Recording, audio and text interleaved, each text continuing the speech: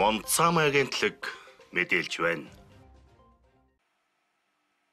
Баян-Улгийн аймгийн Алтан аймс компани орон нутгийн хоньны насар аймс үйлдвэрлэж эхэллээ. Тус аймгийн Өлгийн сумын 8 дугаар багийн иргэн Биржааны гэр бүл 2016 онд гэртээ аймс нэгтэн 2 машин тавьж өрхийн орлогоо нэмэгдүүлэх зорилгоор оройн цагаар ажилладаг байжээ. Тухайн үед Хятадаас 70% ноосны агуулмжтай утас авч оймсныхоо түүхийд болгодог байв. Сахинаас өрхийн үйлдвэрээ айж авах нэгж болгон өргөжүүлж үйлдвэрийн хүчин чадлаа бүгд наримдах Солонгос улсад үйлдвэрлэсэн бүрэн автомат дөрвөн машин авч суйрлуулан нэмэгдүүлсэн байна.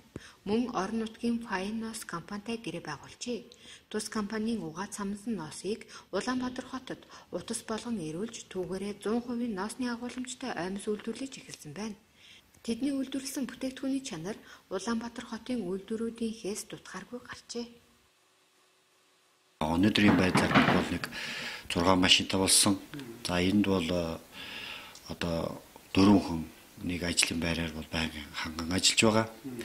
За энэ бол э, нэг талаасаа э, өмнө бол манайхан үйлдвэр бол нэг бол хятад улсад үйлдвэрлэсэн одоо EML ноос утсаар одоо бараа бүтээгдэхүүн үйлдвэрлэдэг байсан.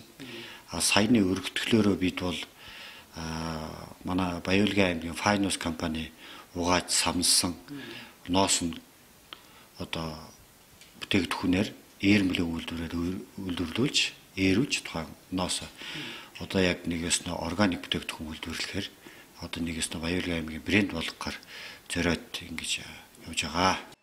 Алтан Гомс компани нь өдөрт 500-аас 600 ширхэг бүтээгдэхүүн үйлдвэрлэж Оросын холбооны улс, бүгд найрамдах Хятад улс, Казахстан улсуудад экспортлж байна. Мөн дөрвөн хүнийг ажлын байртай болгочээ. Цаашид бүтээгдэхүүнийхээ чанарыг улам сайжруулж, Баян-Улгийн аймгийн брэнд болгохыг зорин арчиж байна.